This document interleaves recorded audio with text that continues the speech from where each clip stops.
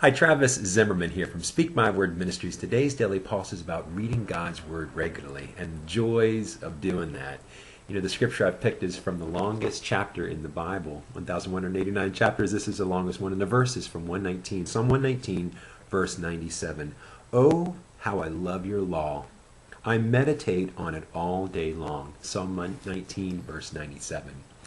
You know, the Bible, God's Word, is what God has intended for us to know about him. He's an infinite, infinite, infinite God, and yet he left a finite account of all that he wants us to know about him.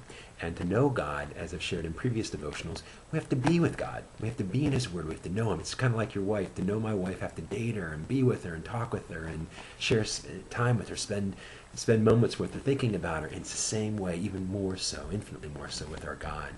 So one of the things I want to encourage you this year, as you're coming up on December and we're getting ready to go into the new year of 2011, is you know it's time to start new habits, time to do new things. Is uh, picking a Bible that you'd like to read this year. And I want to encourage you and challenge you to see if you can read through the Bible this year. And there's obviously many, many options. The Bible is the number one best-selling book, eh, not only just this year, but last year and all of all time. There's over six billion copies of the Bible sold. Praise Jesus for it.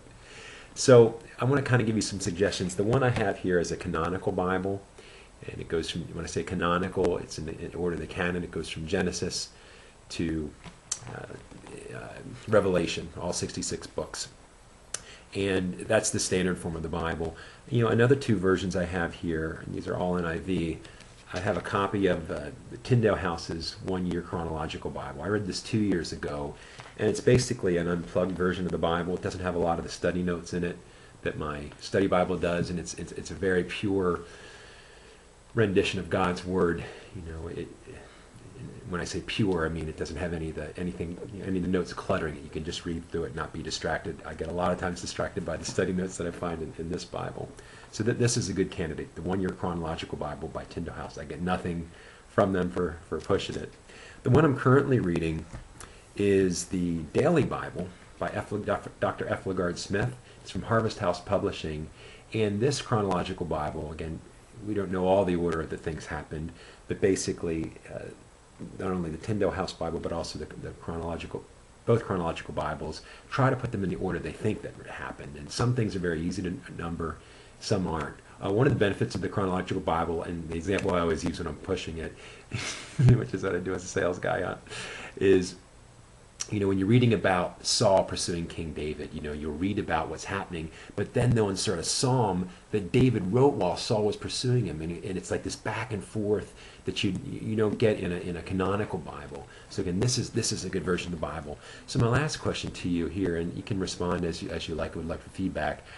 I have notes that I take on both these Bibles and the Bibles that I read every year, and God has given me thousands of them. It's, it's a blessing that He's given me. If you'd like to go through the Bible with me on a daily basis, let me know. And I was thinking about producing a, a second daily pulse that would just go through the chronological Bible uh, one more time and just share some insights. I mean, the, the goal isn't to share insights from me to you. The goal is for the Holy Spirit to open His open his insights and give this to you as you read God's word because that's the whole point. To be in God's word and to know God is just to spend time with him and, and reading through the Bible, coast to coast, as they say, it is such a blessing. So let me know your thoughts on that. Pray on it. And Jesus, thank you for your holy word. We love you and we praise you. Amen.